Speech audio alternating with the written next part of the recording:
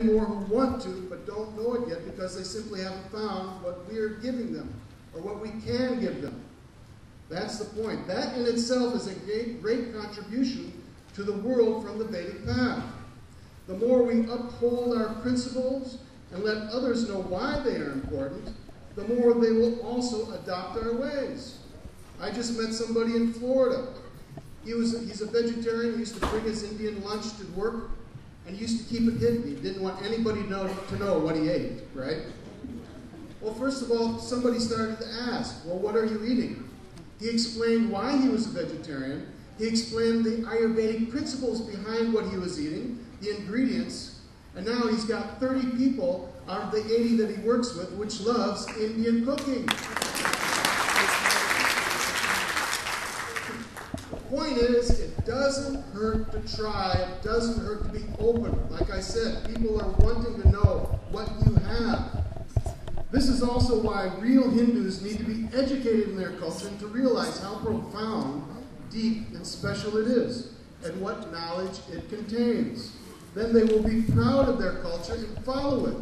After all, we have nothing to be ashamed of, nothing to be afraid of.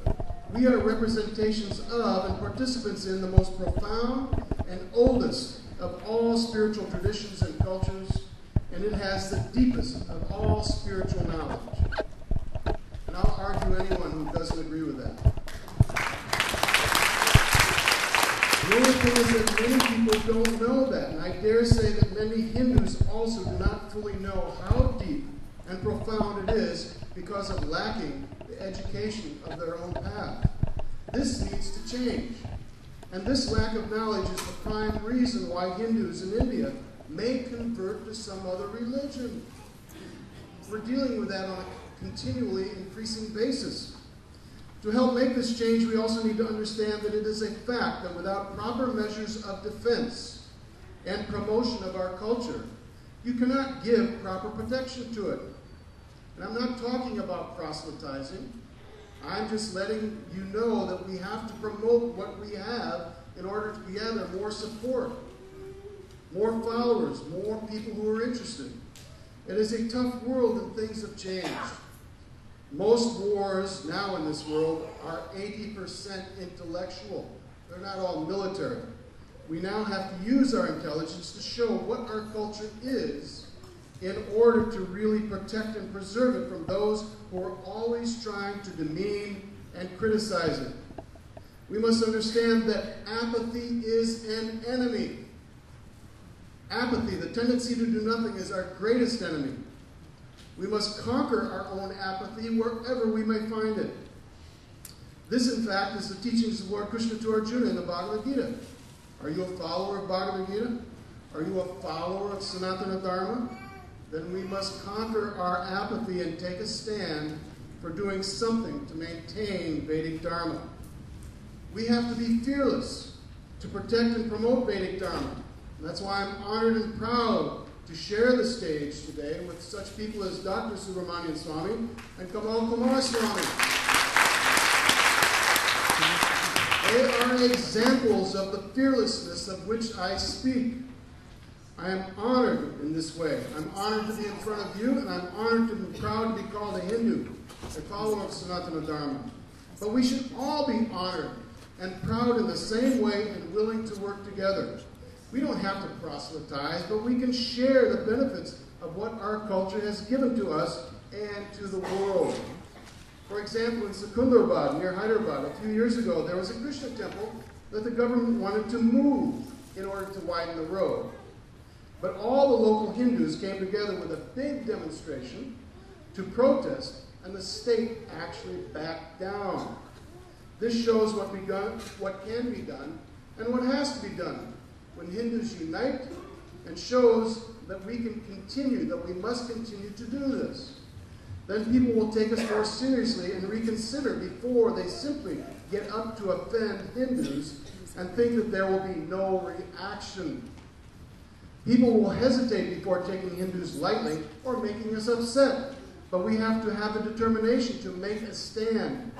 And once we begin to work in this way, we cannot stop but must continue for the long term and never stop until the goal is reached. Sometimes, just by doing a little endeavor, we don't know and may even be surprised at what doors of opportunity will open for us.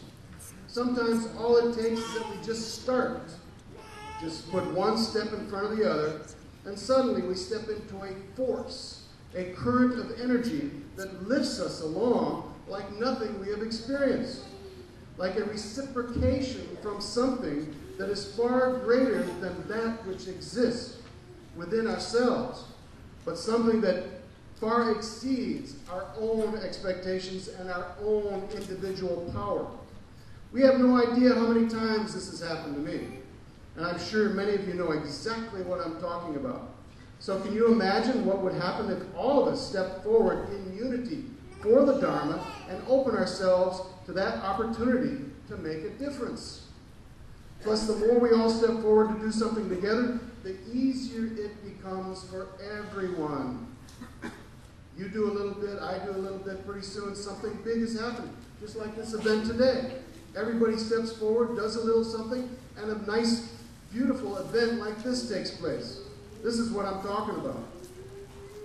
It is one thing, however, to say that we are united, and quite another to work and act united, engaged in concerted efforts as one community to protect, defend, and promote our culture. It should not matter whether we are Vaishnavas, Shaivites, Brahmanandis, Shaktas, or even Bengalis, Gujaratis, Tamils, Rajasthanis, or may I say Americans, or any ethnicity. Because when one aspect of the Vedic tradition is threatened, demeaned, or unnecessarily criticized, then it is the whole culture that is under attack. And we must see it that way. We must step forward and be strong dharmas and make a stand for our tradition and its future. So let us support each other in friendship, in dharmic brotherhood and sisterhood. Let us not become divided by minor or superficial differences or labels, but let us gather and see our unity, our similarities, as spiritual beings, all part of the Supreme Spirit. That is the ultimate teaching of Bhagavad Gita and Vedic Shastra. That perception of reality is becoming increasingly rare these days in society. But it is an inherent principle and basic reality of Vedic Dharma and Dharmic civilization. That is why I call it the last bastion of deep spiritual truth. Because if we ever lose Vedic culture, the world has no idea of what its loss truly is.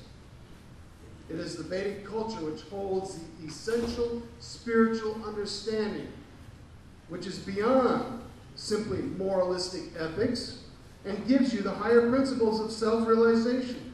It gives you direct access to the absolute, the supreme, not only by descriptions, but by offering the methods by which we can perceive and directly experience it by spiritualizing our consciousness.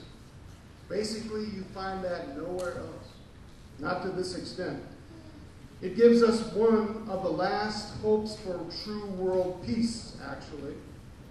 Let us not forget that and also help each other raise our consciousness and maintain that spiritual vision of who and what we really are. That will also pave the way for a truly united Hindu society. There is no greater need for Hindu unity than right now, since there are forces that are also gathering that are trying to work against us, as we've heard. The problem is that it is in our nature to respect everyone. And there's nothing wrong with that, except everyone, not everyone, wants to return the same respect back towards us. In fact, there are those who would like to see our complete extinction the complete demise of Hinduism or Vedic culture if they could, such as we have seen in Pakistan, Bangladesh, Kashmir, and so on in other parts of India. How long does it take before it becomes obvious that we must stand together, even if only to preserve and protect what remains of our culture? And preserve and protect the homeland of our culture, Mother India, Bharat Varsha. We must also We must also recognize that people or groups who mean to do us harm or even wish for our extinction, and then defend ourselves and our culture from their attacks, whatever they may be. But we need to be proactive and develop long-term plans, not merely wait for something to happen and then show some knee-jerk reaction. There are many who already know this and are already working this way, but can you imagine if the whole Vedic community acted in this way together and supported such plans? It would have profound effects. But many of these more detailed plans you can read about in my book, Crimes Against India and the Need to Protect Its Ancient Vedic Tradition. But essentially, you need, we need, we all need to work in a way where we can decide where we want to be in five more years. Where is the Hindu community going to be in five years from now, 10 years from now, 15 or 20 years from now? Where are we going to be? Where do we want to be in 20 years and start making plans of action so that we can reach those goals? That's what we need to do. The thing of it is, we still have a sizable population of nearly 1 billion Hindus around the world. But have you ever wondered why we are still not as formidable a force as we should be? In places like America, Indians, most of which are Hindus, are one of the wealthiest ethnic groups in the country. And we are certainly gathering influence here. Many more Indians are entering politics like never before. But we still have not become as formidable a force in the world as we could be. And why is that? Well, it's simple, quite really. It's because of a lack of organized effort, too much apathy, but primarily a lack of unity amongst us. Many times we come across people who want to do the same things as we do. I want to create something, he wants to do the same thing, but the problem is